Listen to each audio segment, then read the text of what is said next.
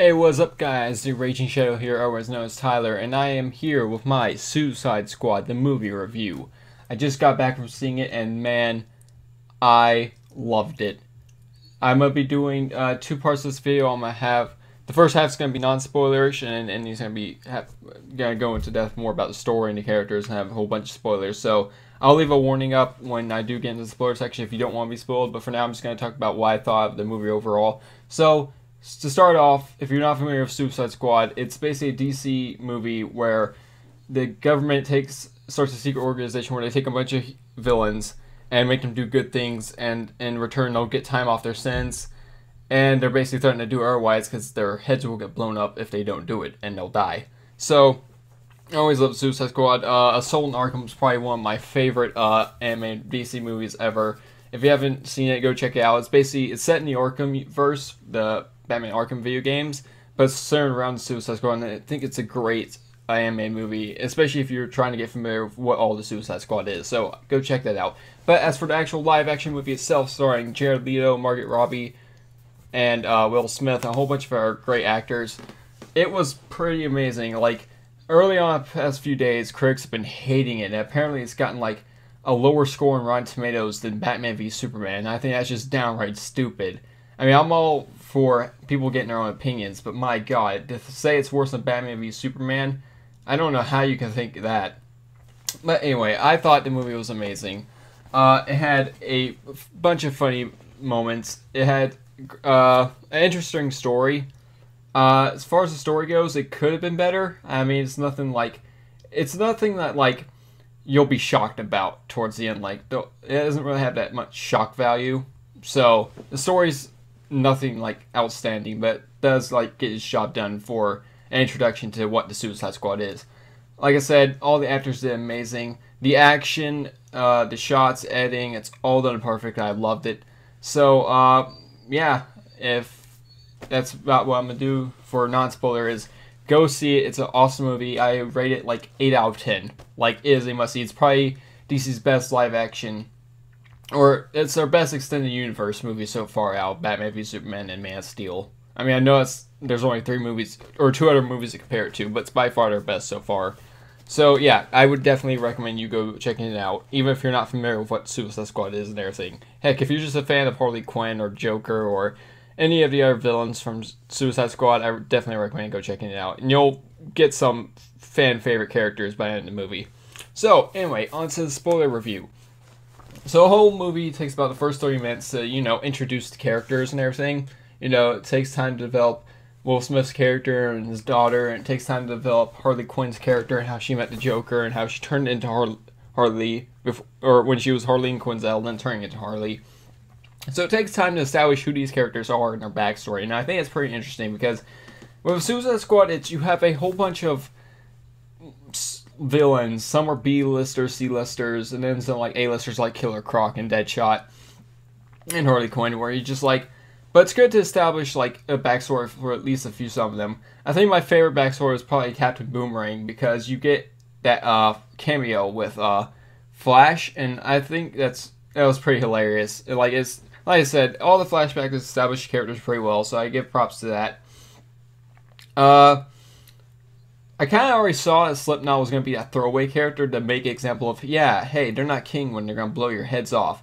So I called it from the start. He was going to be a character who was going to die as soon as they get went onto the mission. Now, as for their mission, uh, it involves Enchantress. A lot of people, when the movie was announced, thought she was going to be part of Suicide Squad, but she's actually like the antagonist of it. So she's basically like like every other villain trying to destroy the world or whatever. Like I said, the plot's not too like great. I mean, it's just your standard. The villain tries to stop the world. But I mean, aside from this plot, just it's the villains that are actually stopping the villain. So, I mean, they are the Suicide Squad. So it's either that or get their heads blown off. But yeah, so the plot's nothing too special. Uh, it does bring back her. She does bring back her like lost ancient brother Golem or Golem or whatever it was, and Goliath. I don't know. It was, it was one three, but uh, he's not really like much of like a threat in the whole movie. Like he like shows up, causes some havoc, and then like he's just like sidelined until like the end of the movie where you're like when they kill him, you're like, oh yeah, he was part of this. So yeah, Uh, I will say I loved Diablo, or El Diablo's performance. That was a pretty like he. W- I always thought he was gonna be like another throwaway character, but he actually pretty. He actually proved to be pretty useful. You know, he was like he was that one guy on the team that didn't want to like fight or anything. You know, he was like he just wanted like go about his life, but you know they kind of force him into Task Force X. So you know it takes Will Smith to like finally push him like, hey, we need your help. So you know he starts helping out through the film, and he sacrifices himself towards the end. So yeah, like I said, this movie it does a really good job getting you attached to the characters. I wanted to hear more from Killer Croc. I wanted to see more Captain Boomerang. Harley was amazing. That Will Will Smith as Deadshot was amazing. Uh, I I will say this if I have to say one thing though is that I feel like Will Smith's uh. I, I don't I wouldn't say he was like spot on with Deadshot's performance. Like I feel like I'm I'm I'm not completely familiar with like how Deadshot acts in the comics. Like I'm just I probably like, read like two volumes of Suicide Squad from the New Fifty Two, and then I'm just for most part I'm just basing his like attitude and everything from like and his personality from uh, Assault on Arkham, how he would act compared to how Will Smith's act. I would say Will Smith's probably a bit too friendly with everybody. Like Buddy and like he and Rick Flag are like buddy buddies. I'm like, eh, I don't think like Floyd would actually be like oh buddy buddy. I mean, he may like soften up a bit, but I think for most part he's just looking out for himself and his you know daughter, or I think it was a niece in the cartoons or comics or something like that. Either way, it was daughter or something like that. But I don't know. I felt like there were times where he was a bit too nice. But other than that, I think he does a great job as Deadshot, and he and uh, Margaret Robbie's Harley Quinn on the screen were fantastic together. Now, for the part you're probably wondering about, Jared Leto's Joker. How was he? Was he better than Heath Ledger? I personally find Jack Nicholson better, but you know, opinions, calm down. But uh, I can't really judge how I thought he was compared to them because he's not on screen a lot. He's on screen for like less than 10 minutes. And I'm fine with that, first off, because this is a Suicide Squad film. This isn't a Joker film or Batman film. By the way, Batman's also in, in the movie for like only a minute. Like like I said again, I'm fine with because this is not a Batman movie. This is a Suicide Squad movie.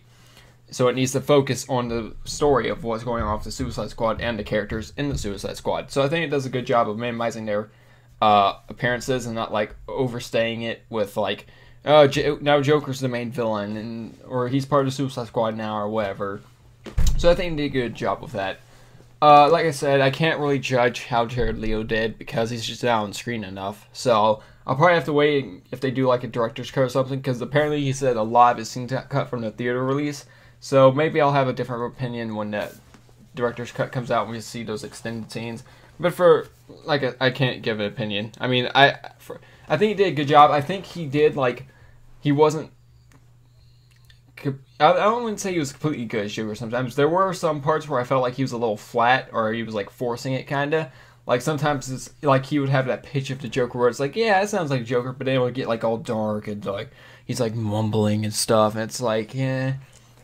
Same thing with Harley or Margaret Robbie is uh, Harley Quinn. Like for like ninety percent of the time she is Harley Quinn, but there were some parts where I feel like it was forced or just like it was it was something like I don't want to see Harley Quinn doing that or saying that. So but yeah, I can't give an opinion with Jared Leto. Like I said, Margot Robbie, oh, mostly like ninety percent of the time, like I said, is perfect as Harley Quinn.